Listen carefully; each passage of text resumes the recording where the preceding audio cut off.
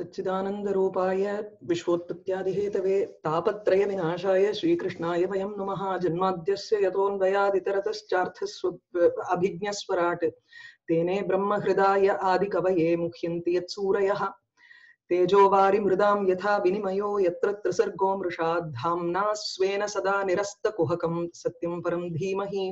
धर्मः प्रोज्झितकैतवोऽत्र परमो निर्मत्सराणां सतां वेद्यं वास्तवमत्र वस्तु शिवदं तापत्रयोन्मूलनं। श्रीमद्भागवते महामुनिकृते किं वा परैरीश्वरः?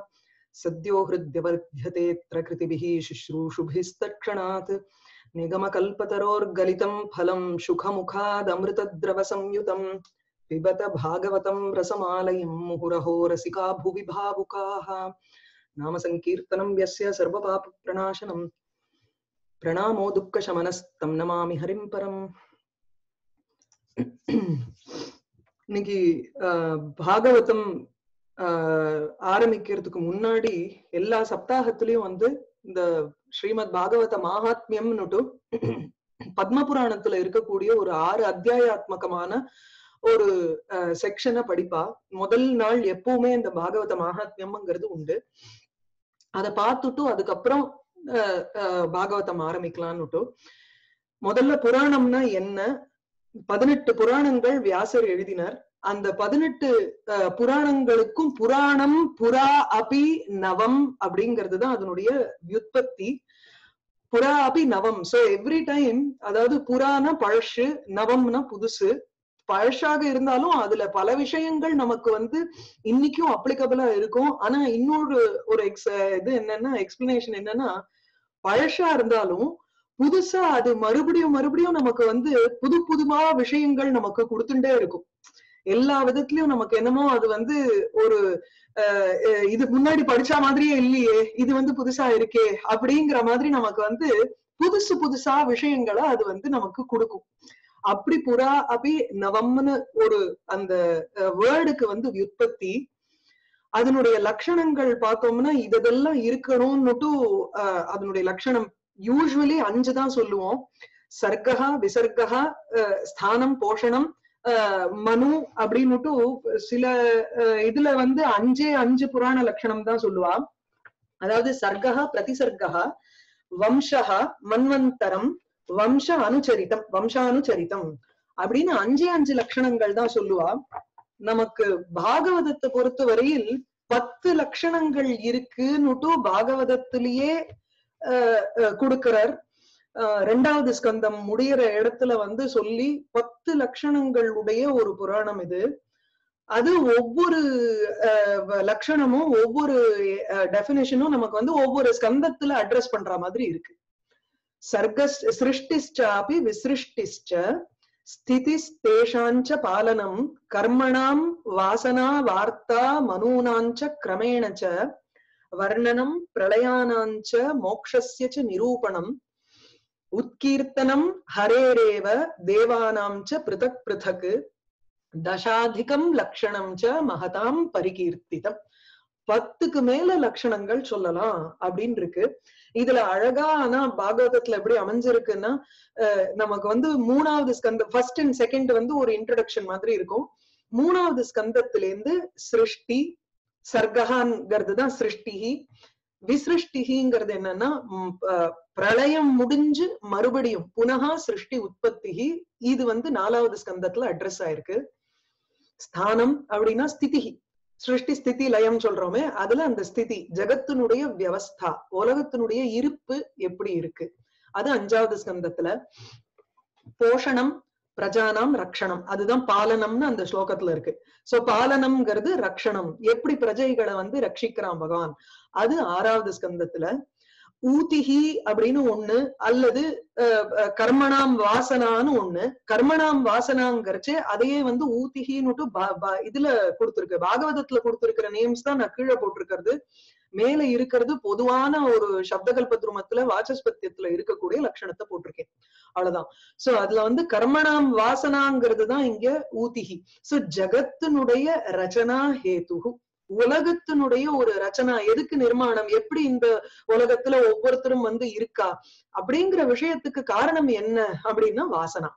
அவளுடைய வாசனா பலத்தினாலதான் ஒரு ஜெகத்துல ஜென்மாங்கிறத எடுக்கிறோம். இந்த ஜெகத்தினுடைய சிருஷ்டிங்கிறது ஏற்படுறது. ரைட்டா அதுக்கப்புறம் மன்வந்தரம் மனுனாம் வார்த்தா. ஸ்லோகத்துல மனுனாம் வார்த்தா மனுக்களினுடைய ஒரு வம்சாவளி. ராஜகுல வர்ணனம் அல்லன்னா மனுவோட மனுனுடைய காலம் என்ன? அந்த எத்தனை மனுக்கள் இருந்தா? இந்த மனுக்கு அப்புறம் யார் வந்தா? அந்த மாதிரி மனுவில இருந்து தானே மனுஷியாலாம் வந்தது. அதனால உங்களுக்கு மன்வந்தரம்ங்கிறது எட்டாவது ஸ்கந்தத்துல சொல்லியிருக்கு. ஈசானு சரித்தம் அல்லது அங்க வந்து தேவானாம் நிரூபணம்னு இருக்கு. தேவானாம் கீர்த்தனம்னு இருக்கு. சோ ஈசானுச்சரித்தம் சூரிய வம்சம் சோம வம்சம் இதனுடைய வர்ணனை ஒன்பதாவது ஸ்கந்தத்துல இருக்கு. அதுல அந்த சூரிய வம்சம் முடிஞ்சு சோம வம்சம் தட் இஸ் சந்திர வம்சம் வர்றச்சு நம்ம கண்ணனுடைய பிறப்பு. அதனால்தான் பத்தாவது ஸ்கந்தம் மாத்திரம் உங்களுக்கு கண்ணனுடைய பிறப்பு அவனுடைய லீலை முழுக்க அதுதான். பல பேர் வந்து பாகவதத்தை படிக்கிறச்சு இந்த பத்தாவது ஸ்கந்தத்தை மாத்திரம் படிச்சு விட்டுருவா மத்ததெல்லாம் வந்து ரொம்ப அவ்வளவு கான்சென்ட்ரேட் பண்ண மாட்டா. அத்வைத பரமா இருக்கிறவா வந்து பதினோராவது ஸ்கந்தத்தை படிப்பா. ஏன்னா அது மோக்ஷ ஸ்கந்தம். அதனால அத வந்து கான்சென்ட்ரேட்டடா படிக்கிறவா உண்டு. தசமஸ்கந்தம் கட்டாயம் படிக்கிறவா இருப்பா. அது இன்னொன்னு மூணாவது ஸ்கந்தத்துல வந்து ஜென்ரலி பிரெக்னன்ட் லேடிஸ் படிப்பான்னு பேரு. அப்போ அவ கேட்கணும்னு பேரு இந்த மூணாவது ஸ்கந்தத்தை. சோ இப்படி பாகவதத்துல பல நமக்கு வந்து ஒரு உபயோகமான விஷயங்கள் நிறைய இருக்கு. அதை தாண்டி பகவத் ஸ்மரணன் அப்கோர்ஸ் சோ இதுல பத்தாவது ஸ்கந்தத்துக்கு என்னன்னா நிரோதகா அல்ல- அஹ், அல்லது பிரளயத்தினுடைய வர்ணனம் இல்ல ஹரிகீர்த்தனம். அந்த ஹரிகீர்த்தனம் பன்னெண்டாவது சர்க்கத்திலயும் இருக்கு. இதுல வந்து நம்ம பிரளயம்னு ஒரு ஒரு டெபினேஷன் போட்டிருக்கார். அது ஒட்டி வரல. பாதி சமயம் நமக்கு வந்து பாகவதத்துல கொடுத்திருக்கிறபடி. சோ பாகவதத்துக்கு அப்ளிகபிள் ஆனது மாத்திரம் நான் எடுத்து போட்டிருக்கேன் இங்க. உம் சோ நிரோதா நிரோதகாங்கிறச்சு துஷ்டானாம் ராஜ்யாம் வித்வம்சகா அதுல பூரா பத்தாவது ஸ்கந்தத்துல ஒவ்வொரு அஹ், அசுரனையும் வந்து அவர் அட்டாக் பண்றது இவர் எப்படி அத அவன அசுரனுடைய நிகிரகத்தை பண்றார் அதனால அவனுடைய லீலை தானே அது. முழுக்க ஒவ்வொரு லீலையில எப்படி அவனுடைய ஒரு விளையாட்டை காமிக்கிறான் எப்படி துஷ்டர்களை நிகிரகம் பண்றான். அது பூரா உங்களுக்கு பத்தாவது ஸ்கந்தத்துல வந்து விடுறது. மோக்ஷஸ்கந்தம். மோக்ஷசிய நிரூபணம் பதினோராவதுல இருக்கு.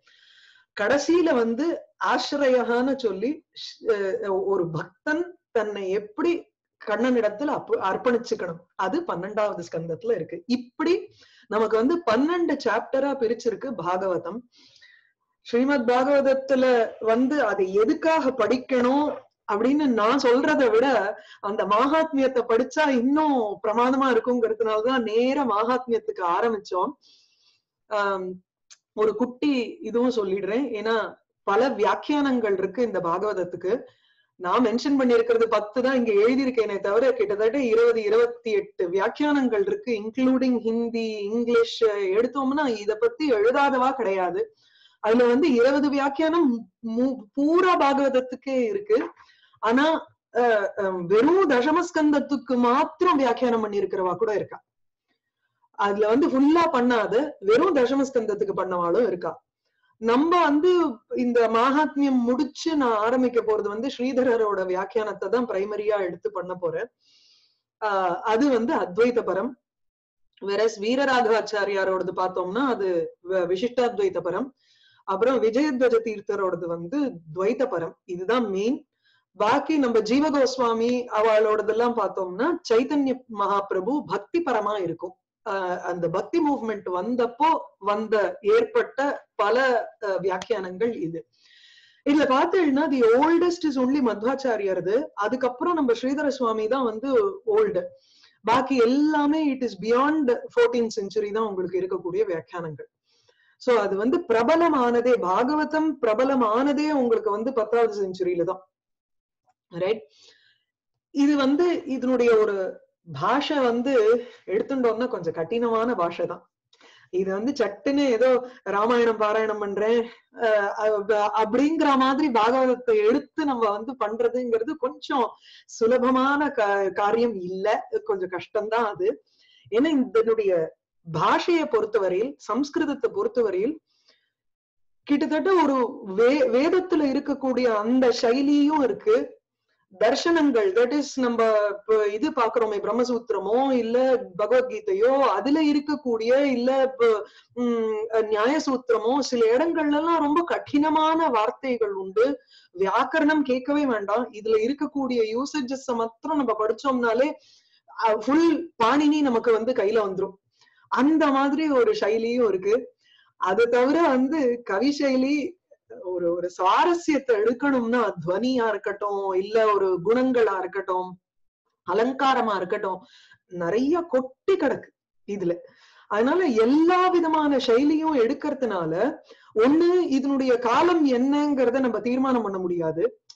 நான் எழுதின காலத்தை சொல்றேன். பிகாஸ் இது வந்து இதுல இருக்கக்கூடிய க வர்ணனைகளுடைய காலம் வேற.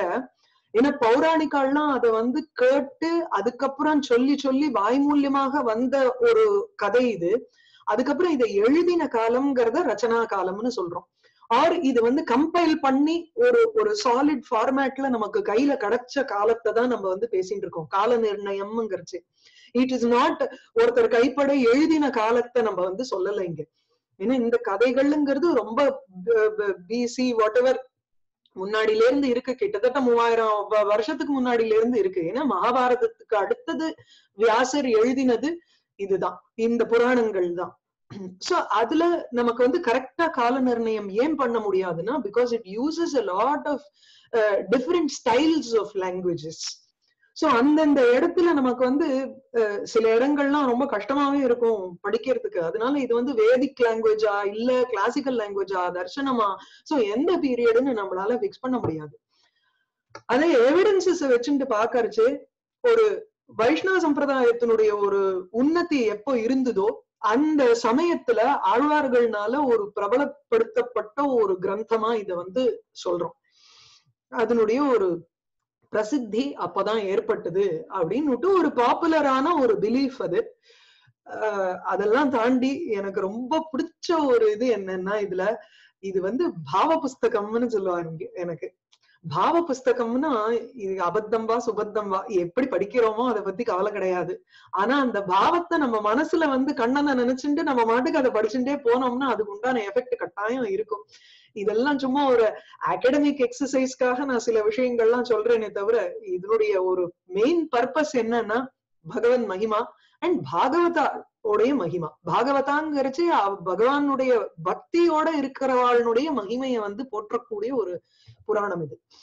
ரைட் அதுல ஏன்னா பகவத் இதுல பல இடங்கள்ல ஆரம்பத்திலிருந்து கடைசி வரைக்கும் கண்ணனுடைய ஒரு மேன்மையை குறிக்கிறது பிளஸ் பக்தி. இந்த மகாத்மியத்திலேயே பக்தி வந்து அழறாளாம். எனக்கு வந்து போக்கிடமே இல்ல அப்படின்னு சொல்லி அவ அழுது நாரதர்கிட்ட புலம்புறா. நான் எங்க போய் இருப்பேன்னு கேட்டு பிருந்தாவனத்துல போய் அது வந்து சுந்தரியா ஆச்சா அந்த பக்திங்கிற ஒரு தேவதை. சோ அது ஒரு பர்சானிபிகேஷன் மாதிரி போட்டு அதனால பக்திக்கு பிராதான்யமான ஒரு டெக்ஸ்ட் இது.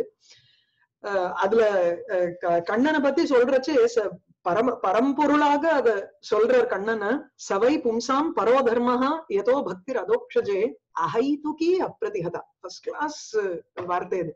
ஒரு ஹேத்துவே இல்லாத ஒரு பக்தி அது. அஹைதுகி பக்தி. கிருஷ்ணனை பார்த்து ஏன் பிடிச்சிருக்குன்னு கேட்டா ஏன்னு சொல்ல முடியாது. பெருசா ஓ லீலைகள்னாலயும் ஆஹ் இருக்கலாம். இல்ல அவனுடைய வாம வந்து அவ்வளவு பியூட்டிஃபுல்லா டிஸ்கிரைப் பண்ணிருக்காரு அப்படின்னா அழகுனாலயா இருக்கலாம்.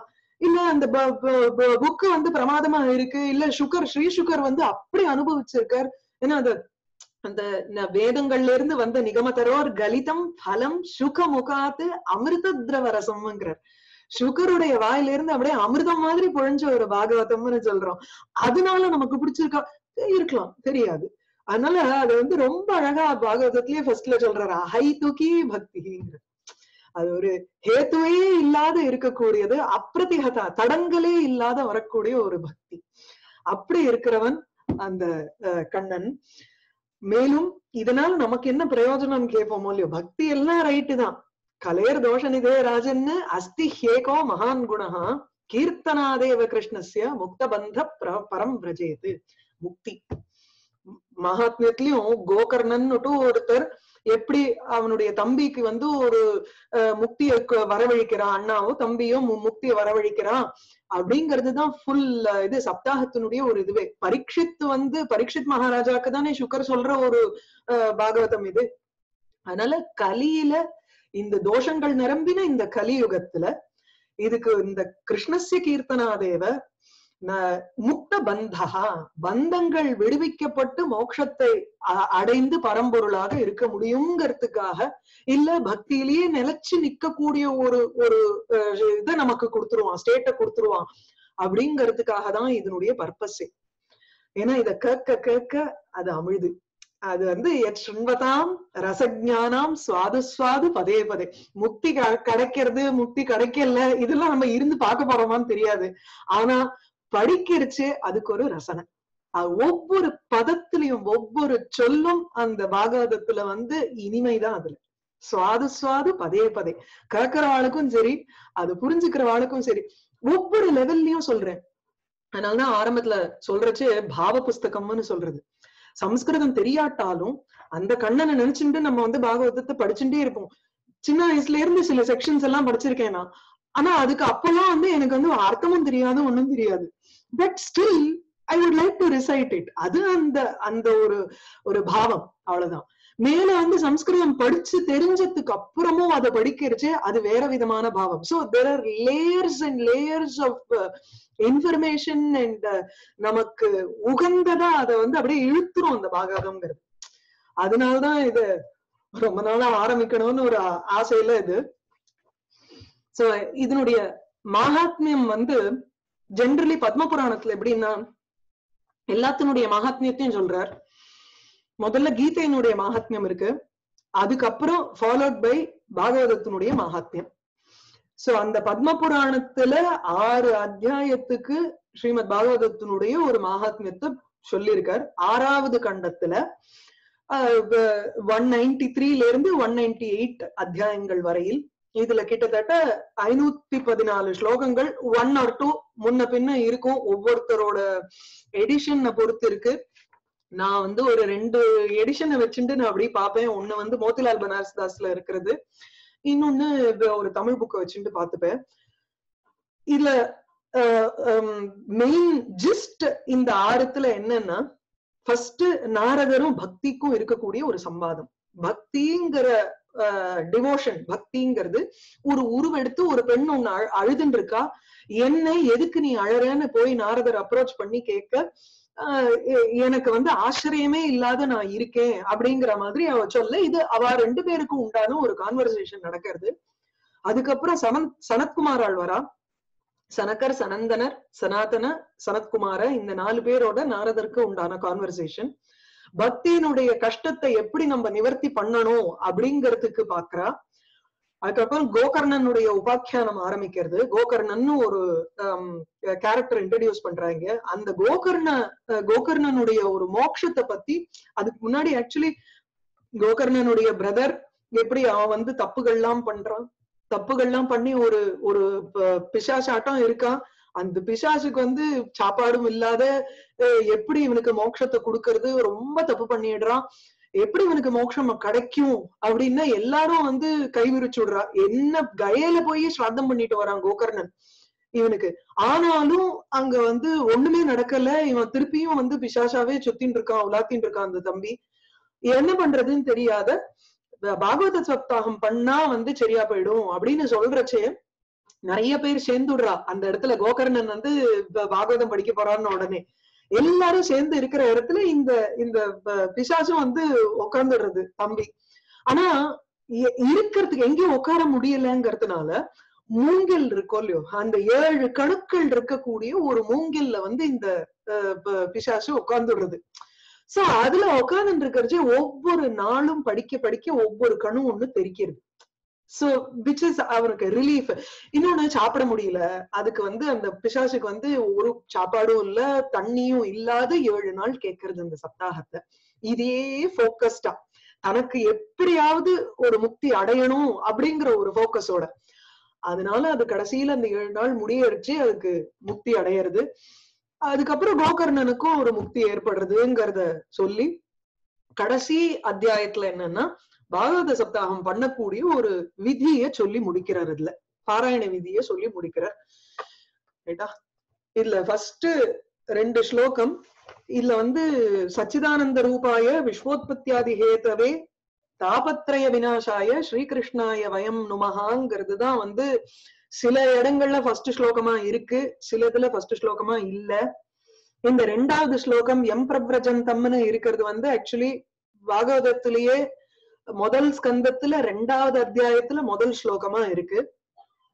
ஆஹ் பத்ம புராணம் பொறுத்தவரையில் உங்களுக்கு வந்து இந்த இடத்துல இருந்துதான் ஆரம்பிக்கும். நைமிஷே சூதம் ஆசீனம் அபிவாத்திய மகாமதிம் கதாமிருத ரசாஸ்வாதல இருந்துதான் ஆரம்பிக்கும் பத்ம புராணத்துல ஏன்னா அதுல வந்து முன்னாடி ஒரு ரெண்டு மூணு ஸ்லோகங்கள் பார்வதி ஈஸ்வரனை கேட்போம் சிவனை வந்து கேட்போம். எனக்கு வந்து பாகவதத்தினுடைய மகாத்மியத்தை சொல்லுங்கோ. எல்லாரும் பாகவதத்தை படிச்சா வந்து முக்தி அடைய முடியும்னு சொல்றாளே. எனக்கு நீங்க சொல்லுங்கோன்னு சொல்லி பத்ம புராணத்துல ஃபர்ஸ்ட் இன்ட்ரடக்டரி ஒரு ரெண்டு மூணு ஸ்லோகம் அது இருக்கும். அதுக்கப்புறம் நைமிஷேன்னு ஆரம்பிக்கும். இத தனியா எடுத்து பிரிண்ட் பண்றவா எல்லாரும் இத ரெண்டுத்தையும் வந்து ஒரு மங்கள ஸ்லோகம் மாதிரி போடுவா. சோ இத படிச்சுட்டு அதுக்கப்புறம் நம்ம மெயின் டெக்ஸ்டுக்கு போலாம். அதுலயே அப்புறம் வந்து பாகவத மகாத்மியத்துக்கு அப்புறம் காலிந்தி யமுனையினுடைய மகாத்மியம் வேற வரும். இந்த மாதிரி ஒவ்வொரு நதி ஒவ்வொரு க்ஷேத்திரம் ஒவ்வொரு புஸ்தகத்தினுடைய மகாத்மியம் இருக்கும் பத்ம புராணத்துல அது ரொம்ப பெருசு அது. சரி இல்ல ஃபர்ஸ்ட் ஸ்லோகம் சச்சிதானந்த ரூபாய விஸ்வோத்பத்தியாதி ஹேதவே தாபத்ரய விநாசாய ஸ்ரீகிருஷ்ணாய வயம் நுமஹா. வயம் நுமகா நாம் நமஸ்காரம் செய்கிறோம். யாரை? அப்படின்னா ஸ்ரீகிருஷ்ணாய வயம் நுமஹா.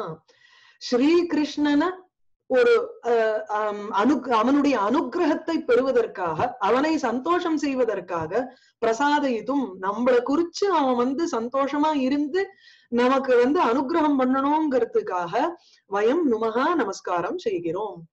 எப்பேற்பட்ட ஸ்ரீகிருஷ்ணன் மூணு அட்ஜெக்டிவ் கொடுக்கிறாருங்க. சச்சிதானந்த ரூபாய விஸ்வ உற்பத்தி ஆதி ஹேதவே தாப திரய வினாசாயங்கிறது வந்து இது கிடையாது அப்ஜெக்டிவ் கிடையாது. ரெண்டு அப்ஜெக்டிவ் தான் கொடுக்கிறார். இது வந்து பிரயோஜனம் இந்த மூணாவது. ஃபர்ஸ்ட் வந்து சச்சிதானந்த ரூபாய சத்து சித்து ஆனந்த ரூபாய. இதுக்கு வந்து ஸ்வரூப லட்சணம்னு பேரு. ஸ்வரூப லட்சணம்னா ஸ்வரூப லட்சணம் தடஸ்த லட்சணம்னு ரெண்டு சொல்லுவா. ஒரு ஒண்ணுத்த நம்ம வந்து டிஸ்கிரைப் பண்ணணும்னா அதனுடைய ஸ்வரூபத்தை டிஸ்கிரைப் பண்ணோம்னா அதுக்கு ஸ்வரூப லட்சணம். தடஸ்த லட்சணம்ங்கிறச்சு இட் இஸ் தட்டேஸ்தகா. இந்த சென்ஸ் ஒரு ஒரு um, நியூட்ரலா இருக்கக்கூடிய விஷயம். அது நெசசரியா அந்த ஒரு பொருளோட இருக்கணுங்கிற அவசியம் இல்லை. இப்போ ஒரு வீடை வந்து டிஸ்கிரைப் பண்ணணும்னு சொல்றோம் வச்சுக்கோங்க. டிஃபைன் யுவர் ஹவுஸ்ன்னு கேட்டா ஒரு எக்ஸாம்பிளுக்கு சொல்றேன். அட்ரஸ் கொடுத்தோம்னா அந்த அட்ரஸ்ங்கிறது வீட்டுக்கு மாறவே போறது இல்ல ஆஹ் வீட்டுக்கு வாசல்ல இந்த செடி இருக்கும். செம்பருத்தி செடி இருக்கிற வீடுதான் என் வீடு. அப்படின்னு சொன்னோம்னா ரெண்டு விஷயம். ஒண்ணு செம்பருத்தி செடி எப்ப பார்த்தாலும் இருக்கணுங்கிற அவசியம் இல்ல. அது திடீர்னு ஒரு நாள் பூச்சி வந்து எடுத்துட்டோம்னா என்ன ஆக போறது? அப்ப லட்சணம் க்ளோஸ் எப்படி வீட்டை கண்டுபிடிப்போம்? இல்லையா? எல்லார் வீட்டுலயும் செம்பருத்தி செடி இருந்ததுன்னா அந்தந்த வீடெல்லாம் என் வீடு ஆகுமா இல்லையே. அதனால ஸ்வரூப லட்சணம்ங்கிறது எப்பவுமே அந்த ஒரு வஸ்துட்ட இருக்கக்கூடிய விஷயம் ஸ்வரூப லட்சணம். தடஸ்த லட்சணம்ங்கிறது அந்த ஒரு காரியம் ஏற்படுறச்சு அதற்கு உண்டான ஒரு ஒரு பேர் ஒரு நாமன் கிளேச்சர் இப்ப நான் வந்து எப்பவுமே டீச்சர்னு கிடையாது. எப்பவுமே ஸ்டூடெண்ட்னும் கிடையாது. விஷாலாட்சிங்கிறது என்னுடைய ஒரு ஸ்வரூப லட்சணம்னு எடுத்துப்போம். ஆனா ஒரு டீச்சரோ அம்மாவோ வைஃபோ சில சில இடங்கள்ல சில சில ஏரியாஸ்ல எனக்கு அந்த ஒரு பேர் வரும். அது என்னுடைய லட்சணமா போகும். அதுக்குதான் ஸ்வரூப் தடஸ்த லட்சணம்னு பேரு. சோ இதுல ரெண்டு அப்ஜெக்டிவ் கொடுக்கிறார் கிருஷ்ணனுக்கு. ஒண்ணு சச்சிதானந்த ரூபாய அது ஸ்வரூப லட்சணம் விஸ்வோத்பத்தியாதி ஹேதவேங்கிறச்ச அது தடஸ்த லட்சணம் விஸ்வத்தினுடைய உற்பத்தி ஏற்படும் பொழுது அவருக்கு இத வந்து லட்சணமா சொல்றோம். யாரு வந்து இந்த விஸ்வத்தினுடைய உலகத்தினுடைய உற்பத்தி உற்பத்தி சிருஷ்டி சிருஷ்டிக்கு காரணமாக இருக்காரோ அந்த இடத்துல ஆதிபதம் போட்டிருக்காரு. சோ முதல் அட்ஜெக்டிவ பாத்துருவோம் சச்சிதானந்த ரூபாய சது சிது ஆனந்தம் சத்ஸ்வரூபம் சத்துங்கிறச்சு கான்சியஸ்னஸ் பியூர் கான்சியஸ்னஸ் இது தமிழ்ல சுவாமிஜி ரொம்ப அழகா சொல்லுவார். தூய இருப்பும்பர். எனக்கு ரொம்ப பிடிச்சிருந்தது அது. தூய இருப்பு அதாவது தூய அறிவு ஆன இது சித்துங்கிறச்சு ஆனந்தம்ங்கிறச்சு தூய இன்பம். சோ அந்த பியோர் பிளிஸ் பியோர் கான்சியஸ்னஸ் எல்லாம் சொல்றச்சு தமிழ்ல ரொம்ப அழகா வருதுன்னு எனக்கு தோணித்து சத்து சித்து ஆனந்தம். இருப்பு சத்ஸ்வரூபம். இருக்கு. எப்ப பார்த்தாலும் இருந்துன்னு இருக்கு அவரா சித்து சித்துனா கான்சியஸ்னஸ் ஞான ஸ்வரூபம்னு அர்த்தம். அதுக்கப்புறம் ஆனந்த ஸ்வரூபம் சத்து வந்து ஒரு விசேஷனம் கிடையாது இங்க. சத்து ஸ்வரூபமாக இருக்கக்கூடிய ஸ்ரீகிருஷ்ணன் சித் ஸ்வரூபமாக இருக்கக்கூடிய ஸ்ரீகிருஷ்ணன் ஆனந்த ஸ்வரூபமாக இருக்கக்கூடிய ஸ்ரீகிருஷ்ணன். இது அடுத்தா நெக்ஸ்ட் வந்து விஸ்வ உற்பத்தி ஆதி ஹேதவே. விஸ்வ இந்த விஸ்வம் உலகத்தினுடைய உற்பத்தி உற்பத்தி ஆதின்னு போட்டிருக்கு. உற்பத்தி முதலிய உற்பத்தி முதலியங்கிறச்சு சிருஷ்டி ஸ்திதி லயம். இது மூன்றுத்துக்கும் ஹேதவே ஹேத்து ஹேத்துனா காரணம். காரணமாக இருக்கக்கூடியவர். சோ ஒரு தோற்றம் சிருஷ்டி ஸ்திதி. ஸ்திதினா இருப்பு இருக்கு காப்பாற்றுவர். பாலனம் அதுக்கப்புறம் லயம். மெர்ஜிங் பிரளயம் எல்லாத்துக்குமே காரணமாக இருக்கக்கூடிய ஸ்ரீகிருஷ்ணன். அப்ப பரம்பொருளை தானே சொல்றோம். கிருஷ்ணன் வந்து மயில் பீலி வச்சுண்டு அவன் அந்த குழலை ஊதிண்டு மாடுகளோட மேய்ச்சுட்டு இருக்கிறச்சே அழகா இருக்கு. நமக்கு வந்து அது வந்து ஒரு சகுண பிரம்மமா பாக்கறச்சு உபாசனைக்கு ரொம்ப ஜம்மன் இருக்கும். அப்ப பரஞ்சோதி ஸ்வரூபம்னு சொல்லிட்டு இருந்தோம்னா அந்த ஜோதிங்கிறது அப்டிராக்டா இருக்கக்கூடிய விஷயத்த மனசுலயே நம்ம வந்து கிரகிச்சுண்டு கான்சென்ட்ரேட் அடுத்தது பண்ண முடியாது. முதல்ல கிரகிக்கணும். அதுக்கப்புறம் தானே கான்சென்ட்ரேட் பண்ணி புரிஞ்சுக்க முடியும். இப்ப தியானத்துல உட்கார முடியும். அதெல்லாம் இல்ல. சகுனமா சொல்லிவிட்டோம்னா அந்த கண்ணனை ஈஸி ரொம்ப அழகா மனசுல நிறுத்தி வச்சுக்கலாம் அவனை. எதுக்காக அப்படின்னா இப்போ அவனுடைய ஸ்வரூபம் பார்த்தாச்சு தடஸ்தம் லட்சணம் பார்த்தாச்சு he is responsible for the சிருஷ்டி ஸ்திதி லயம்னு பார்த்துட்டோம். நமக்கு என்ன? நமக்கு அனுகிரகம் பண்ணணும். தாபத்ரய வினாசாய நுமஹா. நாம் நமஸ்காரம் செய்கிறோம் அவனை. எதற்காகனா தாபத்ரய வினாசாய மூன்று விதமான தாபங்களை வினாசம் செய்வதற்காக. தாபம்ங்கிறது துக்கம். நமக்கு பிரயோஜனமா இருக்கக்கூடியது. நம் நம்மளிடத்துல வந்து துக்கத்தை அவன் போக்குவாங்கிறத தெரிஞ்சாதான் நம்ம அங்க போவோம். இன்னைக்கு மனுஷா வந்து ஒரு இதனால் நமக்கு என்ன ஆதாயம்னு தெரிஞ்சாதான் அவ போகவே போகுவா. எதுவுமே இல்ல நமக்கு பிரயோஜனமே இல்ல இதுல என்ன வேண்டாம் வேஸ்ட்னு விட்டு விட்டு விலகிறவாதான் பல பேர். அதனால ஆரம்ப மங்கள ஸ்லோகத்திலேயே உங்களுக்கு வந்து கவலைப்படாத பிரயோஜனம் இருக்கு அப்படின்னு சொல்லிடுறாரு இந்த இடத்துல. சோ தாபத்ரய வினாசாய என்ன என்ன மூணு தாபங்கள் அப்படின்னா ஆத்தியாத்மிக ஆதி பௌத்திக அதுக்கப்புறம் ஆதி தெய்வீக ஆத்தியாத்மிகங்கிறச்சு நம்மளுடைய ஆத் நம்மளுடைய சரீரத்துல இருக்கக்கூடிய உபாதைகள் மனசுல இருக்கக்கூடிய உபாதைகள் எல்லாமே பர்சனல் துக்கங்கள் என்னென்னலாம் பர்சனல் தாபங்கள் இருக்கோ அதை எல்லாத்தையும் ஆத்தியாத்மிக துக்கம்னு போட்டுடுறது. தாபம்னு போடுறோம். அந்த தாபத்தை நாசம் செய்வதற்காக ஏன்னா சில சமயம் நமக்கு உடம்புல எத்தனையோ உபாதைகள் இருக்கும். ஆனா இந்த மாதிரி அவனுடைய ஒரு இது கீர்த்தனைய கேட்டுட்டே இருக்கிறச்சு நம்மள அறியாத நம்ம வந்து நம்ம உடம்புல இருக்கக்கூடிய உபாதைகளை மறந்து கேட்டு இருப்போம் we will be so involve in that அதுதான் ஒண்ணு நாசம்ங்கிறச்சு we will not even be conscious of those things அதுதான் வந்து ஆத்தியாத்மிக துக்கத்தை நாசம் பண்றதுங்கிற அர்த்தம். சோ தாபத்ரயம் அதுல ஃபர்ஸ்ட் ஒன் ஆயிடுது. ரெண்டாவது ஆதி பௌத்திகம் ஆதி பௌத்திகம்ங்கிறது பூதம். பஞ்சபூதங்கள்னால ஏற்படக்கூடிய சரௌண்டிங்ஸ்ல சுற்றுப்புழல்ல சூழல்ல இருக்கக்கூடிய நமக்கு வந்து பிரச்சனைகள். நம்மளுடைய ப்ராப்ளம் இல்லையே. இப்ப வந்து ஒரு சைக்ளோன் வந்து அடிச்சது. வீடு நாசமா போறதுன்னா it is not a problem that is there within our physical body it is something that is present in the surroundings நேச்சர்னால ஏற்படக்கூடிய சில பிரச்சனைகள். அது வந்து ஆதி பௌத்திகம்ங்கிறோம் அது ரெண்டாவது தாபம். அதையும் நாசம் செய்யக்கூடிய ஒரு கேபபிலிட்டி இருக்கு. Or we will not be affected by it மூணாவது ஆதி தெய்வீகம். நம்மள அறியாத தெய்வத்தினால சில விஷயங்கள் வேட்டுனால ஏற்படக்கூடியது.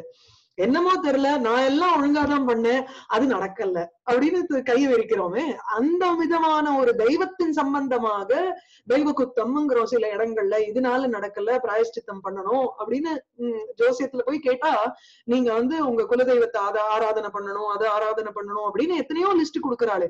அதெல்லாம் இந்த மூன்றாவது கேட்டகரியான ஆதி தெய்வத்துல வந்துடுறது சோ ஆதி தெய்வகம் ஆத்தியாத்மிகம் ஆதி பௌத்திகம் ஆதி தெய்வகம். அப்படின்னு மூன்று விதமான தாபங்களை போக்கக்கூடிய ஸ்ரீகிருஷ்ணாய வயம் நுமக ஒரு சின்ன கிராமர் பாயிண்ட் இதுல சொல்லிடுறேன். அங்கங்க எங்க வந்து கிராமர் தோன்றதோ அதையும் சொல்லிடுறேன். ஏன்னா எல்லாருக்கும் சம்ஸ்கிருதம் தெரியும். அதனால we will just go with that usually வந்து நமஹா வந்தாதான் ஃபோர்த் கேஸ் வரணும். நமஸ்வாகா ஸ்வஸ்தி ஸ்வாதா அலாம் அலம் வஷட் யோகாச்ச அப்படிங்கிற சூத்திரத்தினால குரவே நமஹா. கிருஷ்ணாய நமஹா அப்படின்னு வரும். இந்த இடத்துல நுமஹாங்கிறது இட் இஸ் அ verb. நௌதி நுதஹா நுவந்தி நௌமி நுவஹா நுமஹான்னு வருது. சோ நமாமி அப்படிங்கிற அர்த்தத்துல நமாமஹா அப்படிங்கிற அர்த்தத்துல நுமஹா வந்திருக்கு. அப்போ வயம் நமாமஹாங்கிறச்சு வயம் குரும் நமாமஹா தான் சொல்லணும். வயம் குரவே நமாமஹான்னுட்டு ஃபோர்த் கேஸ் வரக்கூடாது. குரும் நமாமஹா குருவை அப்படின்னுட்டு இரண்டாம் வேற்றுமை தான் வரணும். இங்க பார்த்தேன்னா எல்லாமே நான்காம் வேற்றுமையில இருக்கு அவருக்கு. தாபத்திரய வினாசாயாவ விட்டுருவோம் அது பிரயோஜனம். ஆனா இங்க வந்து கிருஷ்ணாய நுமகான்னு வர்றச்சு இதுக்கு வந்து ஒரு ஒரு ஸ்பெஷல் ரூல் போட்டிருக்காரு பாணினி. ஆஹ் நிறைய இடங்கள்ல வந்து நம்ம ஆர்ஷ பிரயோகம்னு சொல்லி விளக்கிடலாம். ஆர்ஷ பிரயோகம்ங்கிறச்சு it is a very old usage it is not within the Panini usage அப்படின்னு சொல்லி அதை வந்து ஒதுக்கலாம். ஆனா சிலதுக்கெல்லாம் வந்து பாணினி வந்து இது கொடுத்திருக்காரு. நமக்கு ரூல்ஸ் கொடுத்திருக்காரு எக்ஸெப்ஷன் கொடுத்திருக்காரு. அதுல வந்து இங்க என்ன பண்ணணும்னா கிரியார்த்த உபபதம்னு ஒண்ணு இருக்கு. சதுர்த்தி விபக்தி போடுறது. அப்படின்னா ஸ்ரீகிருஷ்ணம் அனுகூலயிதும் வயம் நுமஹ. சோ அதுக்கு ஸ்ரீகிருஷ்ணாயன்னு சப்ஸ்டிடியூட் வந்துடுறது. எப்படி? ஸ்ரீ கிருஷ்ணனை அனுகூலம் செய்வதற்காக அல்லது பிரசாதயித்தும் அந்த பிரசாதயித்தும்ங்கிறத போடலைன்னா அந்த துமன் அர்த்தத்துக்கு நம்ம வந்து சதுர்த்தி விபக்தி போட்டுடலாம். சோ ஸ்ரீகிருஷ்ணம் பிரசாதயித்தும் வயம் நுமகாங்கிறச்சே அந்த இடத்துல ஸ்ரீகிருஷ்ணம் பிரசாதயித்தும் அதற்கு பதிலா ஸ்ரீகிருஷ்ணாய வயம் நுமஹா அப்படின்னு வர்றதுக்கு சான்சஸ் இருக்கு. அது வந்து புராணத்துல இருக்கு. பாப்புலர் ஸ்லோகங்கள்ல இருக்கு. நம்ம வந்து புதுசா ஸ்லோகம் இது பண்றச்சே பண்ணணுங்கிற அவசியம் இல்ல. சொல்றேன். ஆஹ் சச்சிதானந்த ரூபாய விஸ்வோத்பத்தியாதிஹேதவே தாபத்ரய விநாசாய ஸ்ரீகிருஷ்ணாய வயம் நுமஹ. இந்த ரெண்டாவது ஸ்லோகமும் இன்னைக்கு பாத்துருவோம். எம் பிரவ்ரஜந்தம் அனுபேதம் அபேத கிருத்தியம் துவைபாயனோ விரக காதர ஆஜுஹாவ. புத்திரேதி தன்மயதயா தரவோ அபிநேதுகு தம் சர்வபூத ஹிருதயம் முனிம் ஆனதோஸ்மி. இந்த ஸ்லோகம் வந்து ஸ்ரீ சுகர் இது பண்றது வர்ணிக்கிறது. ஸ்ரீ சுகர் வந்து வியாசரோட புள்ள. அவருக்கு வந்து உபநயனம் பண்றதுக்கு முன்னாடி அஹ், அஹ், அப்படியே ஓடினார்னு சில இது சொல்றா. வீட்டை விட்டு அவர் வந்து எல்லாத்தையும் துறந்து அவர் ஓடினார். பின்னாடியே வந்து வியாசர் வந்து கத்திண்டு புத்திர ஈதி ஆஜுகாவ. அப்படியே வந்து தன்னை விட்டு பிரிஞ்சு போறானே ஸ்ரீ சுகர்னு நினைச்சுட்டு திருப்பி திருப்பி குழந்தை வா நீ போகாத போகாதன்னு சொல்லிட்டு துவைபாயனர் வந்து பின்னாடி ஓடினார் அப்படின்னு இருக்கு அதுல வந்து ஒண்ணு உபநயனம் ஆகிறதுக்கு முன்னாடி இன்னும் இருக்கு. இன்னொன்னு வந்து உபநயனமாகி அவருக்கு வந்து பதினேழு வயசு பதினஞ்சு வயசு அப்படின்னு சொல்றா. சோ அதுல வந்து நமக்கு ஒன்னும் எப்படி இருந்தா என்ன இப்போ? அவன் மொத்தம் இது வந்து சுகரை பத்தி வர்ணனை. எம் பிரவ்ரஜந்தம் அனுபேதம் அபேத கிருத்தியம் துவைபாயனः விரக காதர ஆஜுகாவ புத்திர இதி தன்மயதையா தரவகா அபிநேதுஹு தம் சர்வபூத ஹிருதயம் முனிம் ஆனதோஸ்மி. முனிம் அந்த முனிவரை தம் முனிம் ஆனதகா அஸ்மி நான் வணங்குகிறேன். நமஸ்காரம் செய்கிறேன். ஆனதா அஸ்மி. ஆசமந்தாத்து எல்லா வித அத அந்த ஆனதகான்னு வர்றச்சு ஆ சமந்தாத்து நதகா நமஸ்காரம் செய்கிறேன்னா சமந்தாத்துன்னு எல்லா விதத்திலையும் சரணாகதி அடைகிறேன்னு. வைஷ்ணவ கான்செப்ட் பியூட்டிஃபுல் தெரியுமோ இல்லையோ? அடியாருக்கு அடியானும் பாவா அதாவது விஷ்ணுவை கூட சில சமயம் விட்டுருவா.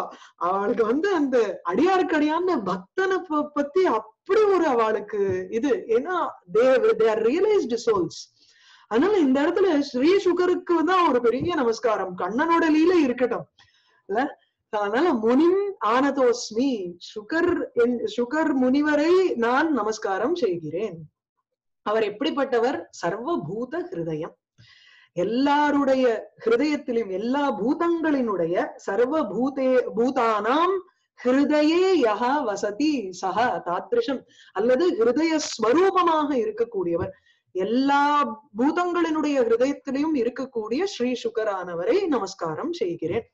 அவர் எப்பேற்பட்டவர் அப்படின்னா எம் எந்த சுகரை பிரவ்ரஜந்தம்.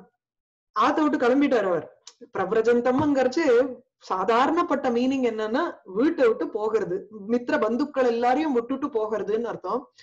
இன்னொன்னு சந்நியசிய கச்சந்தம்னு ஒரு அர்த்தம். சந்நியசியங்கிறச்சு துறந்தவர். எந்த ஒரு பற்றுதலும் இல்லாமல் இருக்கிறதுனால கர்மாக்கள் தானே விலகணும்னு பேரு. நம்ம வந்து கர்மாவை விடணுங்கிறது இல்ல. அது தானா நம்ம அந்த நிலைமைக்குள்ள நம்ம அந்த பிரம்மஸ்வரூபத்துல நம்மளுடைய ஒரு மனசு இருந்ததுன்னா ஆத்மஸ்வரூபமானது ஈடுபட்டு இருந்ததுன்னா கர்மாக்கள் தானா விலகும். அப்படி சந்நியசிய பிரம்மணி ஆத்மானம் சந்நியசிய கச்சந்தம் வீட்டை விட்டு சென்றவர். ஸ்ரீசுகர் அனுபேதம் அபேத கிருத்தியம். இந்த அனுபேதம்ங்கிறதுக்கு தான் ரெண்டு அனுபேதம் மெயினா வந்து ஏகாக்கின்னு ஒரு அர்த்தம் இருக்கு. தனியாகவே சென்றவர் யாருமே அவரோட கூட வரல அப்படின்னு ஒரு அர்த்தம். உபேதகான்னா இது பண்ணவர். அதாவது உபநயனம் செய்தவர்னு அர்த்தம். சோ அனுபேதம்ங்கிறச்சு உபநயனம் ஆகாதவர்னு அர்த்தம் வருது. ரைட்டா அது ஒரு மீனிங் இன்னொன்னு வந்து ஏகாக்கின்னு ஒரு மீனிங் அபேத கிருத்தியம் அபேத கிருத்தியம். இப்ப சொன்னேனே கர்மாக்கள்னா விலகினவர்னு. கர்மாக்களை விட்டுட்டு அவர் போகல. அபேதம் யாரிடமிருந்து கர்மாக்கள் அபேதம் விலகிற்றோ? தானா யாரிடமிருந்து கர்மாக்கள் விலகிற்றோ? அப்பேற்பட்டவர்னு. சோ அபேத கிருத்தியம் எம் எவரை? துவைபாயனகா புத்திர இது ஆஜுகாவ துவைபாயனகா வியாசன் வியாசர் விரக காத்தரகா சுகரிடமிருந்து பிரிந்த காரணத்தினால பிரிவு வந்துருமோ அப்படின்னு காத்தரகா பயந்தவர். காத்தரகானா ரொம்ப ஒரு பயத்தோட இருந்தார். என்னத்தினால? விரகம். தன்னுடைய பிள்ளைகிட்ட இருந்து நம்ம பிரிஞ்சிருவோமோ அப்படிங்கிற ஒரு பயன் பய பயத்துடன் கூடின துவைபாயனகா வியாசர் புத்திர இதி ஆஜுகாவ குழந்தை எங்க போற எங்க போறன்னுட்டு பின்னாடியே அவர் ஓடினார். அப்படி ஆஜுகாவ ஆஜுகாவன கூப்பிட்டாருன்னு அர்த்தம். சோ அப்படி ஆஹ்வயதி. அப்படி ஆக கூப்பிட்ட பொழுது கூட வந்து அவர் மாத்திரம் இல்ல தரவகா தன்மயதையா அபிநேதுகு பதில் சொல்லித்தான். சோ தன்மயத்தையா தன்மயத்தையா இந்த மரங்களுக்கெல்லாம் வந்து அதோட அப்படியே ஒரு சுகரோட என்ன சர்வபூத ஹிருதயம் இல்லையா? அவர் எல்லா பூதங்களினுடைய ஹிருதயத்துல வசிக்கக்கூடிய சுகருங்கிறதுனால சுகர் வந்து ஸ்ரீ சுகர் வந்து மரங்கள்லயும் இருந்ததுனால மரங்கள் வந்து சுகருக்கு பதில பதில் சொல்லித்தான். குழந்தை எங்க போற? நில்லு அப்படின்னு வியாசர் கூப்பிடுறச்சு பதில் சொல்லணுமோ இல்லையோ? சுகர் மாட்டுக்கு போயிட்டு இருந்தார். ஆனா சுகருடைய ஹிருதயம் அறிஞ்ச அந்த மரங்கள் தரவகா என்ன தன்மயத்தையா அப்படியே சுகருடைய மயமாக ஆயிற்று. He was in that state அதனால. சோ மரங்கள் அபிநேதுகு அபிநனாத பதில் கூறின ரிப்ளை பண்ணித்து அப்பேற்பட்ட ஸ்ரீ சுகம் முனிம் சர்வபூத ஹிருதயம் எல்லா பூதங்களினுடைய ஹிருதயத்திலும் இருக்கக்கூடிய முனிவரை ஆனதோஸ்மி வணங்குகிறேன். இதுதான் மங்கள ஸ்லோகம். ரெண்டு ஸ்லோகம் ஆச்சு இதுல வந்து நெக்ஸ்ட் தான் நமக்கு சூதர் அண்ட் ஷவுனகர் அவளுடைய கான்வர்சேஷன் ஆரம்பிக்கும். அடுத்தது பார்த்தோம்னா அதுல சூதருங்கிறவர் பௌராணிகா. இதெல்லாம் வந்து வேர்ட் ஆஃப் மவுத்தா தான் வந்ததுன்னு சொன்னேன் இல்லையா? சோ அந்த வேர்ட் ஆஃப் மவுத்தா வந்ததுனால உங்களுக்கு வந்து முதல்ல பௌராணிக்கால்லாம் வந்து இன்னொருத்தரை கேக்குறா ஷவுனகர் வந்து சூதர்கிட்ட கேக்குறா சூதர் வந்து பதில் சொல்றார் சூதர் கதையை ஆரம்பிக்கிறார். சூதர் கதையை ஆரம்பிக்கிறச்சு நான் சுகர் வாயால நான் கேட்ட கதையை நான் உங்களுக்கு சொல்றேன் அப்படின்னு சொல்லி ஆரம்பிக்கிறார். சோ இதுல பார்த்தோம்னா இவா அவா சொன்னா இவா சொன்னா இவா சொன்னா சூத்த உவாச்சே சவுனுக்க உவாச்சேன்னு நமக்கு கன்ஃபியூஷன் ஆகும். யாரு முதல்ல சொன்னா யாரு அப்புறம் சொன்னான்னு ஒரு ஒருத்தர் சொல்லிட்டே இருக்கிறது இதுதான் கன்ஃபியூஷன் வருது. தேவி பாகவதத்தையும் பாகவதத்தையும் confusion வருதுங்கிறா.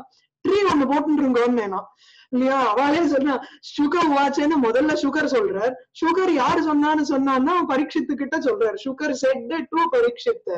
Who said this to whom இந்த பரந்திசிஸ் மாதிரி போட்டுன்னு வந்துடணும்னு நினைக்கிறேன். கன்ஃபியூஷன் வந்துடும் இந்த புராணத்துல எல்லாம் அதுக்கு நடுவுல ஒரு கதைக்குள்ள இன்னொரு கதை போகும். அது வேற யார் யாருக்கு சொன்னான்னு ஒரு கன்ஃபியூஷன் வரும். சோ ஏதோ ஒண்ணு அவன் மொத்தம் பகவன் மகிமையை கேட்டுட்டு போறோம்னு இருக்கலாம். இல்ல அவங்களுக்கு வந்து அகடமிக் பர்பஸஸ்க்கு வேணும்னா இந்த மாதிரி ஒரு ட்ரீ ஒண்ணு போட்டுட்டு இருக்கோம் முதல்ல இருந்தே. ஃபார் ஈஸியர் அண்டர்ஸ்டாண்டிங் ரைட்டா சச்சிதானந்த ரூபாய விஸ்வோத்பத்தியாதி ஹேதவே தாபத்ரய விநாசாய ஸ்ரீகிருஷ்ணாய வயம் நுமः எம் பிரபிரஜந்தம் அனுபேதம் அபேதகிருத்தியம் துவைபாயனோ விரக காதர ஆஜுஹாவ. புத்ரேதி தன்மயதயா தரவோ அபிநேதுஹு தம் சர்வபூத ஹிருதயம் முனிம் ஆனதோஸ்மி